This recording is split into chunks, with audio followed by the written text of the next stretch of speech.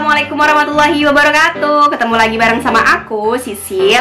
Nah teman-teman, di video kali ini aku pengen ngasih tahu kepada kalian Terkait apa aja sih yang mempengaruhi peningkatan subscriber. Kenapa sih ke subscriber aku tuh nggak naik-naik? Bakal hilang, pergi entah ke mana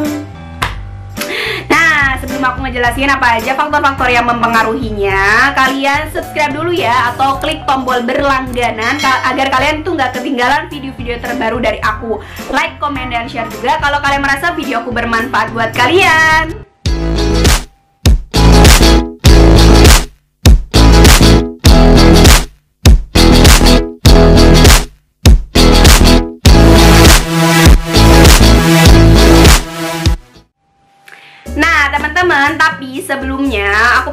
Lagi nih kepada kalian bahwa setiap Sabtu malam minggu aku selalu ngadain Q&A terkait YouTube. Jadi kalau kalian masih ada yang bingung-bingung atau yang mau ditanyakan, silahkan langsung ikutan di Instagram story aku. Uh, setiap Sabtu malam minggu jam 19.30 ini dia Instagramnya silahkan langsung di follow teman-teman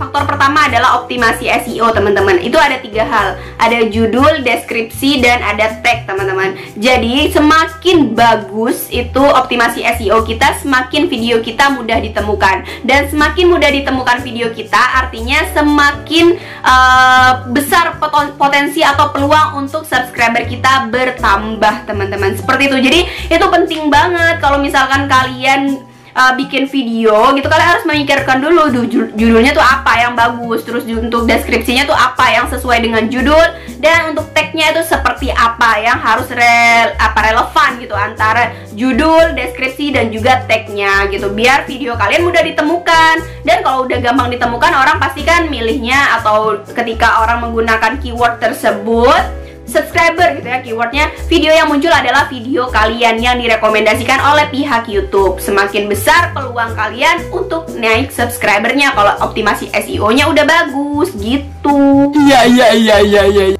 Nah, faktor yang kedua yang mempengaruhi kenaikan subscriber adalah kualitas dari video itu sendiri ya teman-teman. Artinya, dalam penataan video kalian tuh udah tak rapih banget gitu loh. Jadi di awal ketika opening kalian udah ngasih tahu kalian mau ngejelasin apa terus juga kalian uh, apa namanya bikin penataan video yang sedemikian rupa yang bikin orang tuh tertarik dan paham apa yang disampaikan kalian dari video tersebut seperti itu kalau misalkan uh, menyampaikannya berantakan, susah dimengerti, udah gitu nggak jelas, itu kan orang eh, nggak uh, akan tertarik buat subscribe. Nah, kalau misalkan kualitas videonya, entah itu dari editing, efek, terus penjelasannya bagus, terus penataan depan, belakang, tengah gitu segala macamnya bagus, tentu orang akan lebih tertarik untuk subscribe dan suka sama video kalian. Otomatis mereka akan subscribe, nggak usah disuruh kalau udah suka salah satu hal yang bisa bikin dia tertarik dan suka video kalian, tentu dia akan subscribe teman-teman. Jadi posisikan kalian aja sebagai pengguna YouTube. Kalian kenapa sih mau subscribe channel ini? Kenapa kalian mau subscribe channel si A, si B, si C? Apa yang bikin tertarik? Kita pelajari dari situ aja.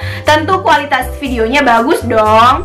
Sombong amat. Nah, yang ketiga, kenapa subscriber itu nggak meningkat? Karena kita jarang share, teman-teman. Artinya kita nggak ngasih tahu nih ke semua orang yang kita kenal, ke semua yang follow Instagram kita, pengikut kita di Facebook, di Twitter dan lain sebagainya. Kita nggak ngasih tahu mereka nih kalau kita punya channel YouTube. Jadi wajar aja mereka nggak pada tertarik atau orang-orang terdekat kita bahkan nggak tahu gitu kalau misalkan kita punya channel YouTube. Jadi share itu penting banget, apalagi untuk para youtuber-youtuber pemula teman-teman jadi memanfaatkan semua media sosial yang kalian miliki untuk sebagai senjata gitu, sebagai alat perang kalian menambah subscriber kalian. Itu penting banget teman-teman. Dan aku udah kasih tahu kalian caranya gimana nge-share uh, apa namanya video kita, cuplikan video kita atau hal-hal uh, yang berkaitan dengan video kita di channel uh, di berbagai sosial media kalian seperti di Facebook, Instagram. Kalian bisa lihat di Instagram aku gimana aku nge-share-nya. Kalian bisa lihat juga di Facebook aku gimana aku nge-share untuk uh, channel YouTube aku ini, teman-teman. Jadi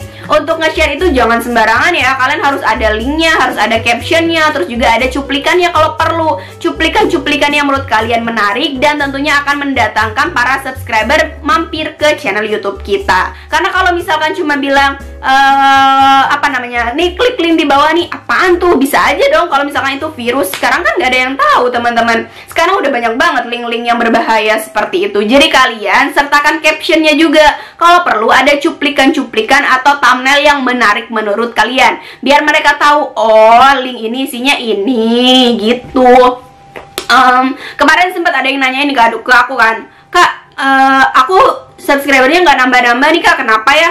Awalnya aku udah share di Instagram aku. Aku udah taruh linknya juga Eh setelah aku cek ternyata dia sharenya tuh hanya di Instastory Teman-teman kalau Instastory itu kan ada jangka waktunya Cuman satu kali 24 uh, satu kali 24 jam aja kan gitu. Beda kalau misalkan kita sharenya di feed teman-teman. Kalau misalkan di feed kita nanti bisa dong Untuk uh, apa ya namanya permanen Naruh di uh, uh, sosial media kita gitu. Jadi nggak usah malu-malu kenapa harus malu-malu? Alasannya kemarin sih malu gitu.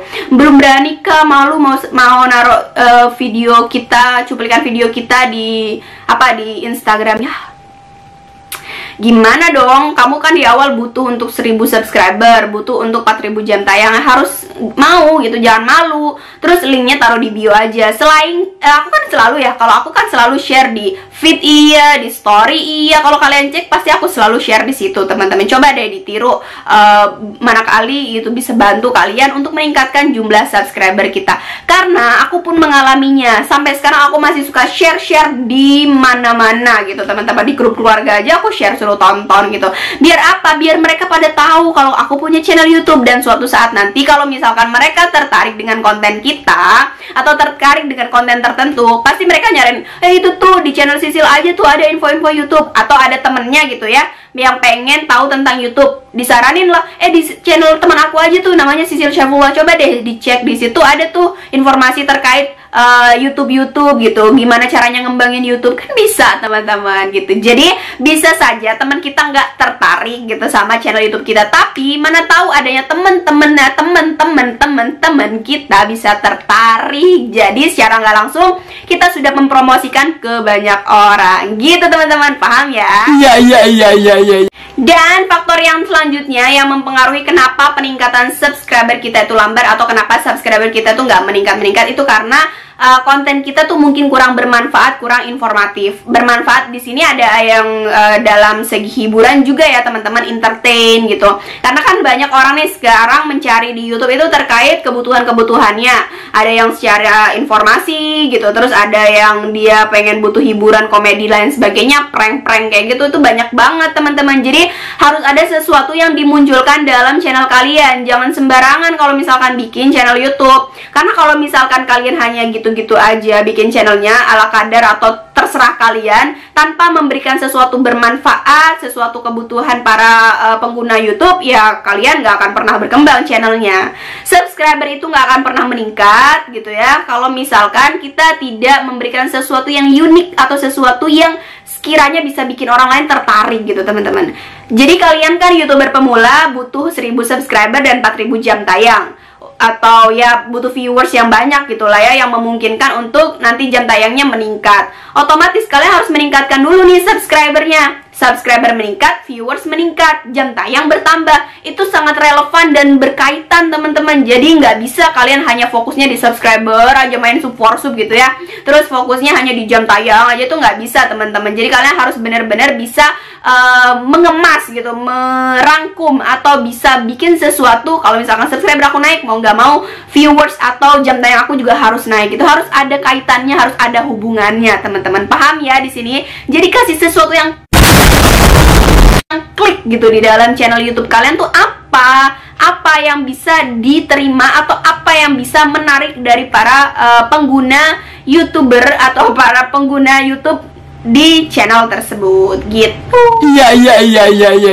Oke teman-teman, itu adalah faktor-faktor yang mempengaruhi peningkatan subscriber Jadi kalau misalkan kalian masih bertanya-tanya kenapa subscriber aku nggak naik-naik Kenapa subscriber aku nggak bertambah-tambah silahkan dicek terkait hal-hal yang tadi udah aku jelasin kepada kalian agar kalian bisa mengevaluasi channel YouTube kalian seperti apa teman-teman. Oke, mungkin segitu aja untuk video aku kali ini. Mudah-mudahan bermanfaat buat kalian semuanya. Jangan lupa untuk klik tombol subscribe agar kalian tidak ketinggalan informasi dalam channel YouTube ini. Like, komen, dan share juga kalau kalian merasa video aku bermanfaat buat kalian. Dadah, sampai ketemu di video-video aku berikutnya. Terima kasih.